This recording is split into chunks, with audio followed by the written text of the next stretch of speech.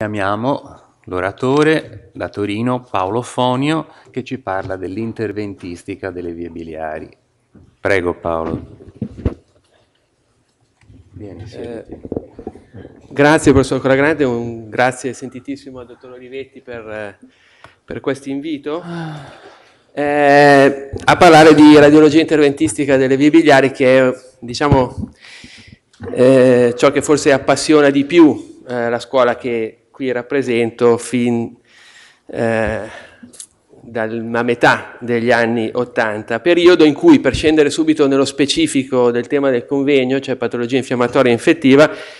c'era molta discussione sul rapporto che esisteva tra eh, il drenaggio biliare e la sovrinfezione delle vie biliari, con molti lavori che sconsigliavano il drenaggio percutaneo per la possibilità delle complicanze eh, settiche. Noi invece abbiamo sempre ritenuto che fosse il contrario, come testimoniano queste immagini dannata, direi, di drenaggi eh, di colangiti suppurative con grossolane formazioni eh, ascessuali e il tempo ci ha dato ragione perché come già vi ha fatto vedere il dottor Cengia, le linee guida appena revisionate del, di Tokyo ci dicono che nella colangite acuta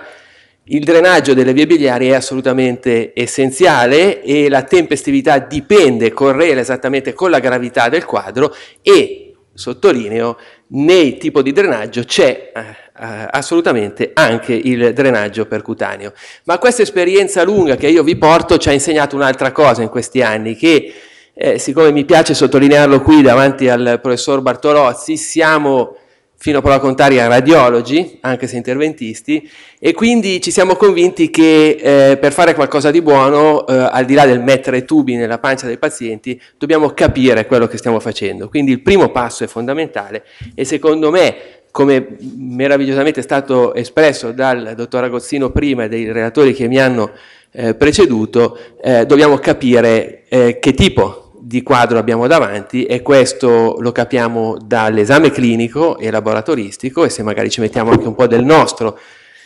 anche se siamo radiologi a capire qualcosa di clinica non, non guasta, e dalla, eh, dall'esame ecografico che dovrebbe essere eseguito, questo sì, assolutamente in urgenza. Questo è un caso di oltre vent'anni fa con eh, un quadro ecografico molto suggestivo per una calcolosi intrepatica associato a un quadro clinico a, a, a, altrettanto suggestivo, un paziente con colangiti ricorrenti. L'RCP non sorprende che fosse muta sui dotti eh, che poi in realtà erano pieni di calcoli perché il contrasto non ci eh, eh, andava, eh, ovviamente eravamo in era pre-colangio RM e questo è il quadro della puntura percutanea con eh, il dotto del sesto e quello del terzo segmento stipati di eh, calcoli con eh, poi eh, le procedure che eh, vedremo e la eh, risoluzione del quadro. Oggi abbiamo la risonanza magnetica, come ci ha fatto ben vedere il dottor Agozzino, quindi tutto è più facile, è più facile anche convincere i colleghi che eh, a questo livello e a questo livello eh, vi è un quadro di calcolosi intrepatica con via biliare sostanzialmente eh, normale, le assiali assolutamente eh, eh, necessarie. E questo è ancora una volta il quadro di colangiografia percutanea che conferma la calcolosi a questo e a questo livello con la risoluzione alla fine delle eh, procedure. Quando la radiologia interventistica? Eh, vediamo il primo scenario, vie biliari integre. Eh, io credo che eh, la radiologia interventistica dovrebbe essere di prima istanza quando la patologia, in particolare litiasica o comunque benigna, che è quella di cui stiamo trattando oggi, coinvolge la confluenza o ci va al di sopra. Io credo che il paziente che ha fatto vedere il dottor Cengia prima con la calcolosi intrepatica fosse un paziente onestamente che avrebbe dovuto giovarsi di una collaborazione eh, percutanea che forse avrebbe potuto evitare le 22 sedute di eh, ERCP a cui è stato sottoposto. Eh, quindi un caso di questo genere con una calcolosi impattante a livello della confluenza eh, io ritengo che abbia indicazione.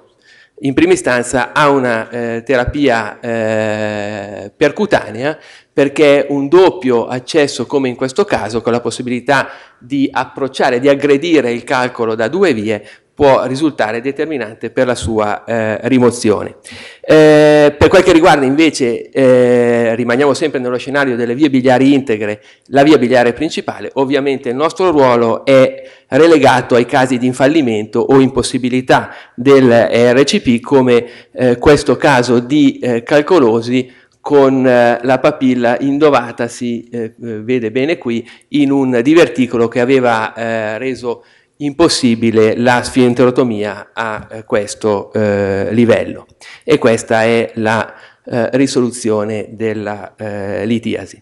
Eh, oppure il ruolo della, dell'approccio percutaneo è nelle conangiti ascendenti post-RCP, questo è un caso di un leakage del dotto cistico post colecistectomia, aveva fatto un RCP il venerdì, eh, l'endoscopista non era in Molinette, era in un ospedale periferico, non è riuscito a mettere eh, l'endoprotesi e questo è il quadro eh, la domenica mattina. Eh, qui abbiamo dovuto chiamare il professor Gandini, devo dire la verità, per eh, riuscire a drenare queste, queste vie, perché è stata un'operazione tecnicamente molto molto complessa, poi alla fine risolta con il posizionamento di una protesi plastica eh, secondo quanto già il dottor Cengia, eh, per approccio ovviamente endoscopico, vi ha fatto eh, vedere.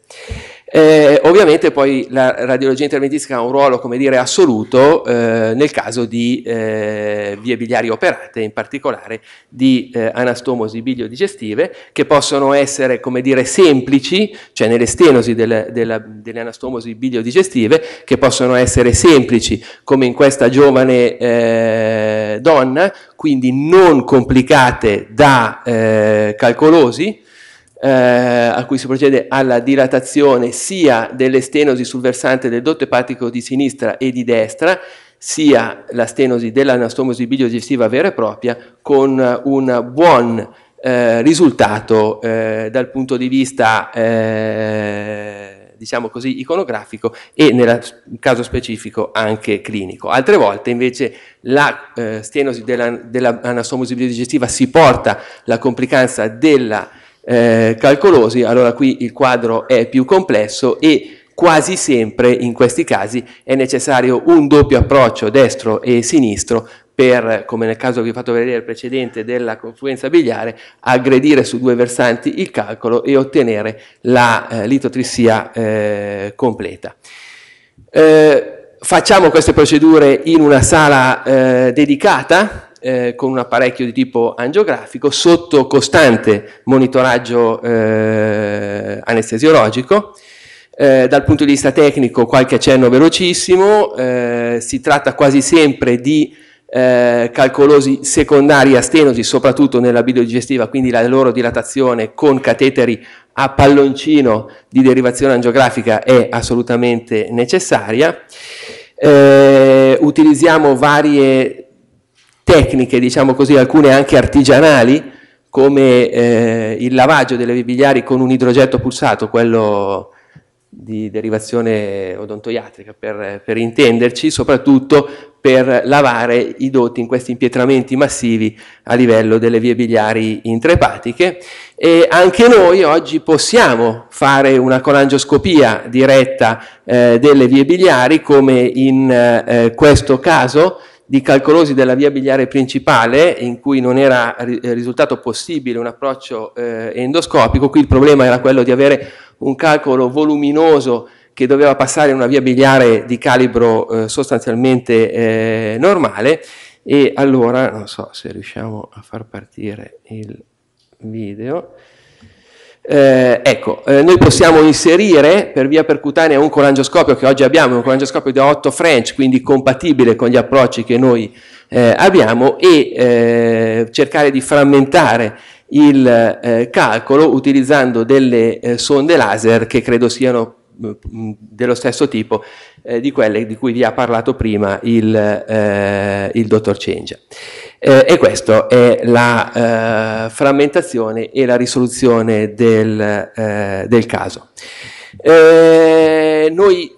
spesso lavoriamo, come dire, da soli, eh, in particolare nei casi in cui la collaborazione è impossibile, di nuovo un caso di anastomosi biliodigestiva stenotica con un impietramento massivo eh, a monte e qui ce la dobbiamo vedere, eh, ce la dobbiamo vedere noi.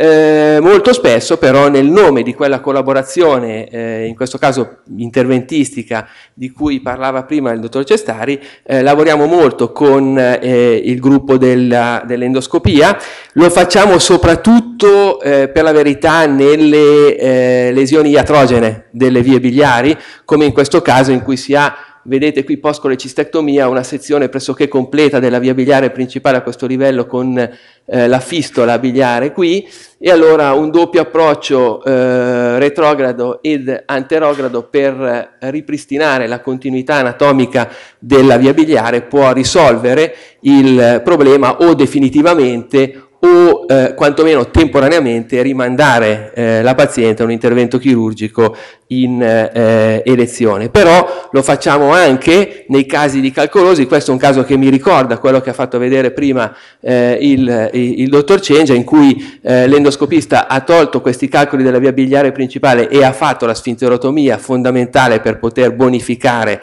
poi eh, la calcolosi a, a monte. Eh, c'è stata la puntura diretta del sinistro, in questo caso che era quello completamente impietrato,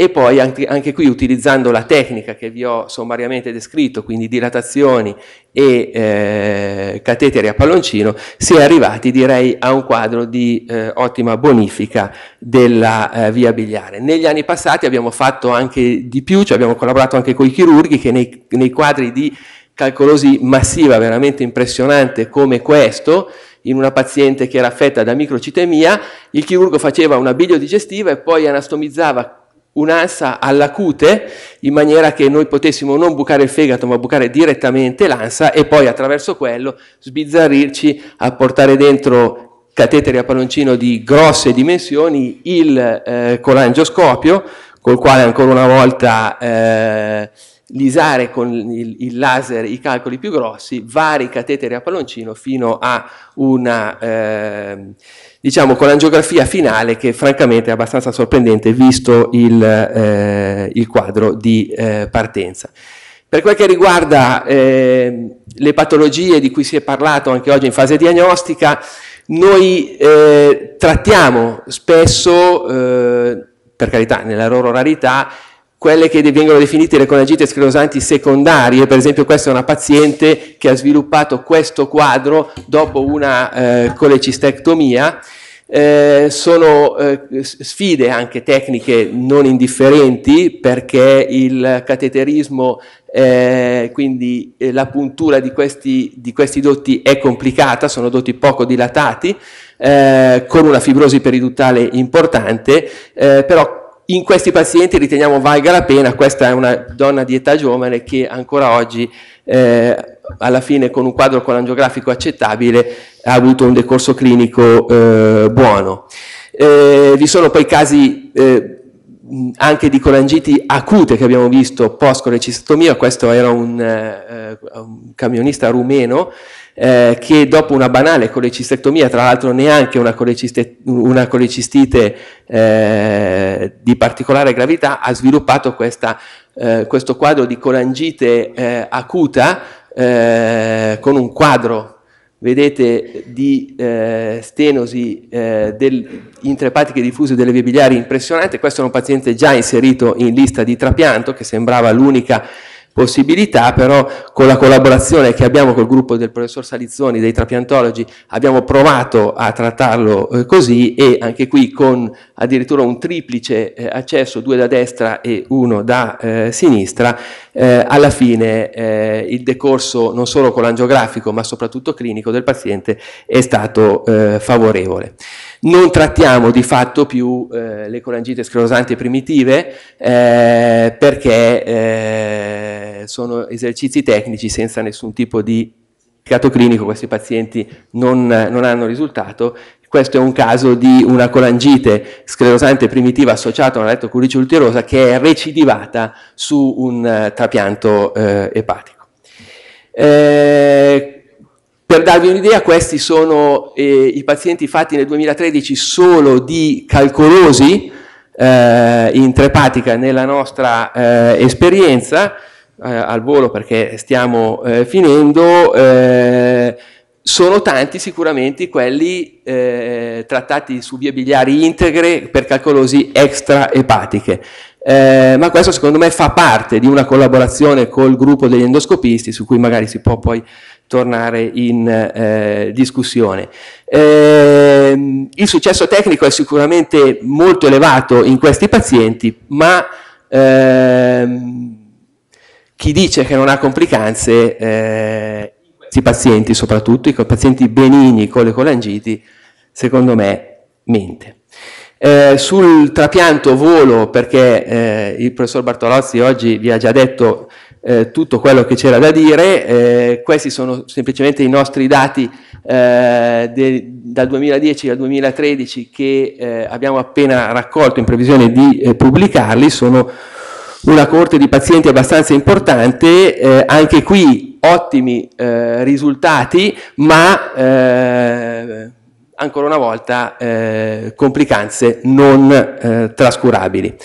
Eh, complicanze, vado a finire, che sono eh, nella stragrande maggioranza dei casi complicanze emorragiche, eh, il vantaggio che abbiamo noi radiologi interventisti è di suonarcela e di cantarcela, nel senso che la complicanza la facciamo e nella stragrande maggioranza dei casi cerchiamo di risolverla attraverso procedure di embolizzazione eh, arteriosa, questo era un caso di una calcolosi su stenosi di anansoni digestiva,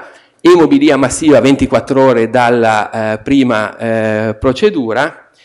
eh, questo è, eh, adesso non vi tedio con eh, dettagli tecnici, vedete questo è il catetere angiografico in arteria epatica che evidenzia la piccola lesione in corrispondenza del passaggio del eh, drenaggio biliare, l'embolizzazione con spirali metalliche e questo è